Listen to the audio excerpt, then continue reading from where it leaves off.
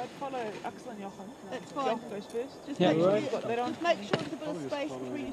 So Okay, ready to go? You have to make decisions yourself. You have to be creative. You're not just finding your own way up the mountain.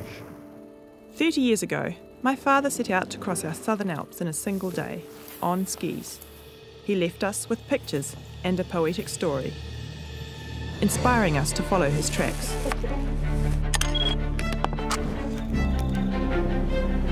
Most important is one smooth movement.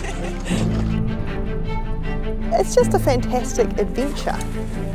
Welcome to New Zealand conditions. He's following us for a bit longer, Axel. How do you like the view in New Zealand so far? You can see nothing. With Dad's encouragement, I learned that on adventures, you expect the unexpected and accept that you mightn't always find what you're looking for. Ist da genug Platz oben? Der schwierigste Part kommt jetzt. This journey brought me to the past and back again, and through my greatest loss.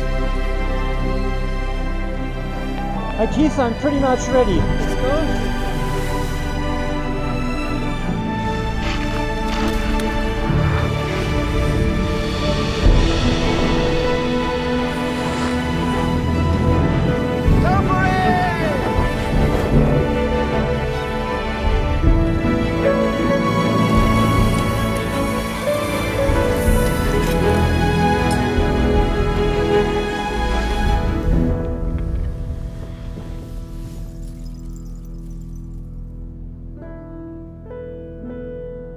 A ski traverse is like a well composed piece of music.